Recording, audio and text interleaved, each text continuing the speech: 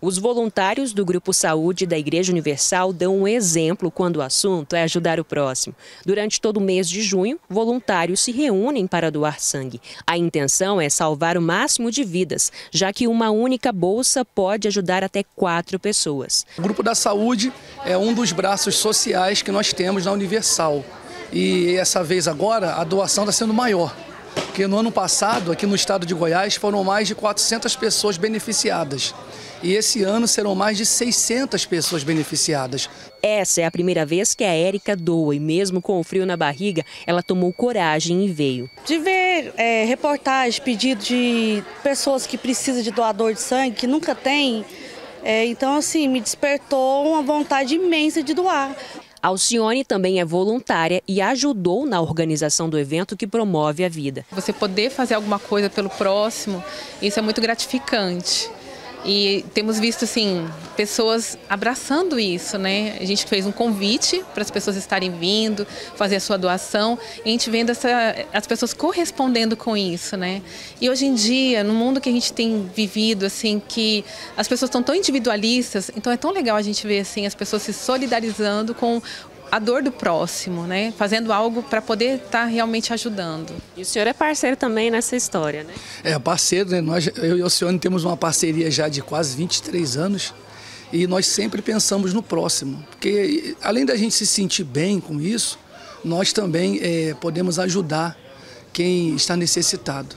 E um simples gesto, uma doação de sangue, mostra o amor que nós temos por pessoas que nós nem conhecemos e que estamos ajudando através desse ato de doar sangue. Eu sou doador, minha esposa é doadora também. Nós queremos mesmo que as pessoas recebam o melhor. O Hemocentro de Goiás, por exemplo, trabalha com esse ônibus quatro vezes na semana. Por meio de parceria, vai até empresas e diversas instituições que queiram ajudar o próximo com a doação de sangue. E nós levamos toda a unidade, toda a estrutura para atender a população. Às vezes ela não tem condição de chegar até o Hemocentro e é, uma, é uma, um, um suporte maior para ela, né?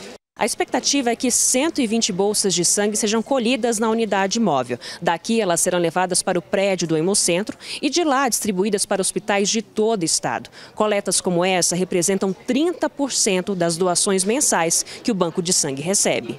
Para ser um doador é preciso pesar mais de 50 quilos, ter entre 18 e 69 anos. Jovens de 16 e 17 anos precisam da autorização de um responsável legal. Grávidas e lactantes não podem doar. Usuários de drogas também não. É preciso dormir pelo menos 6 horas na noite anterior à doação e respeitar o intervalo de duas horas pós-almoço para a doação e não ter ingerido bebidas alcoólicas nas últimas 12 horas. Já vi que você já doou, tá tomando o seu lanchinho aqui agora. Como é que foi a experiência? Foi muito boa, né? Tá podendo, está aqui, tá ajudando vidas, né? E sempre tá doando sangue né? e ajudando a gente também. Né? Estamos no Junho Vermelho, que é quando os bancos de sangue fazem várias campanhas para incentivar ainda mais a doação. Nessa época, os estoques costumam ficar baixos. O estoque já era baixo, né?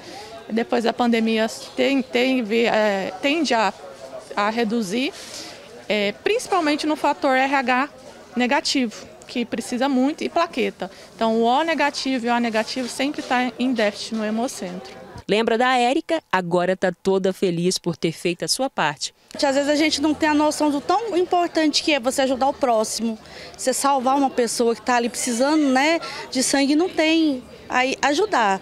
Só pensar assim, eu vou ajudar o próximo, que o resto Deus abençoa.